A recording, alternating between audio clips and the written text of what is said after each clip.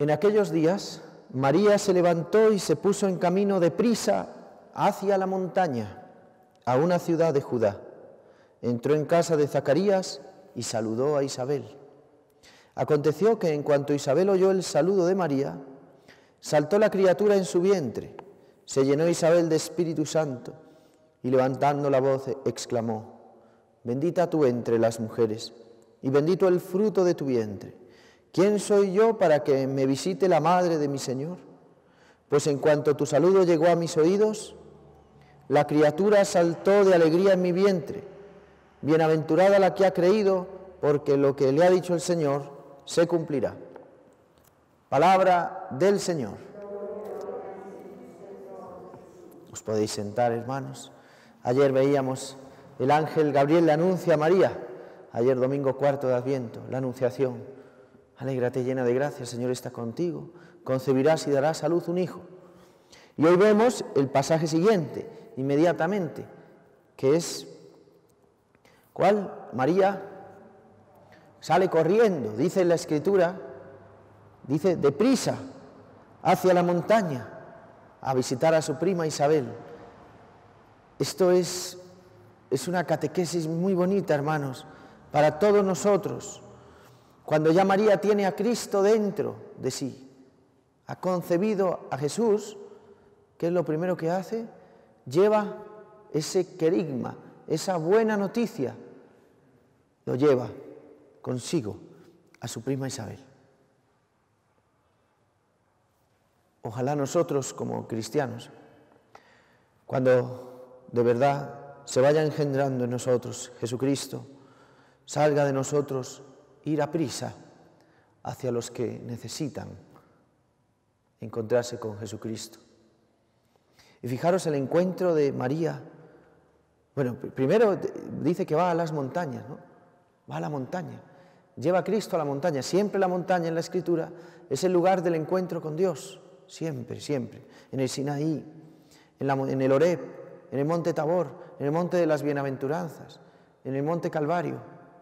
Siempre la montaña es el lugar más, eh, ¿cómo decirlo?, predilecto por Dios para encontrarse con el hombre.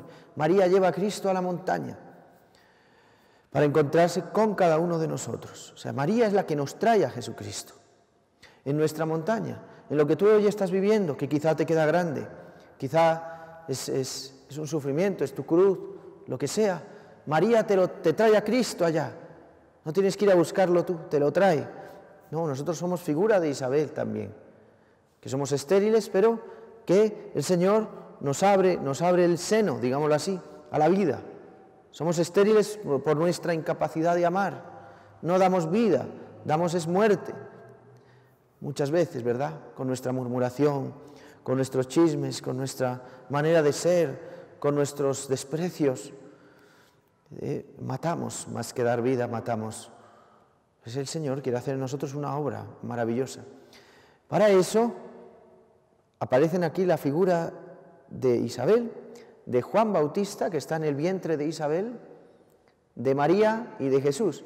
En ese encuentro, que es la visitación, se dan estas cuatro personas, cuatro personas estupendas de la historia de la salvación. Y si os fijáis, dice que María saludó a Isabel. ¿Cuál era el saludo judío o cuál es? Shalom, shalom, que quiere decir la paz contigo.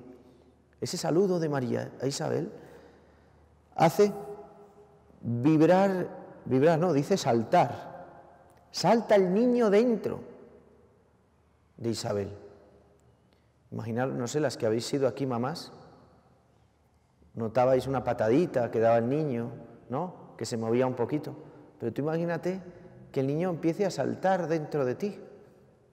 Pues te pegas un susto grande, ¿no? A saltar. Eso hizo Juan en el vientre de Isabel.